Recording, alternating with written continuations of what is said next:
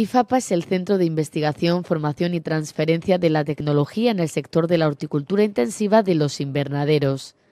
Se puso en marcha en la década de los 80 para dar respuesta a un sector que comenzaba a despuntar y hoy, cuatro décadas después, se ha convertido en todo un referente en la investigación agraria, destacando los trabajos realizados para la optimización del agua. El consejero de Agricultura en un desayuno de trabajo ha anunciado que van a poner en marcha tres nuevas líneas de mejora de regadíos con un presupuesto que asciende a 43 millones de euros. Tres líneas de ayuda que van dirigidas, por una parte, a la regeneración de aguas residuales en estaciones depuradoras de agua,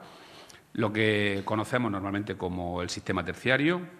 también para la conexión de las instalaciones de riego para las comunidades de regantes a estaciones de tratamiento de agua regenerada y también para nuevos regadíos abastecidos con agua regenerada. El centro de La Mojonera se puso en marcha en el año 2003 con una clara vocación de transferencia del conocimiento. Desde ese momento han puesto en marcha más de 1.200 actividades en las que han participado 36.000 alumnos un centro de conocimiento que cada vez está más vivo.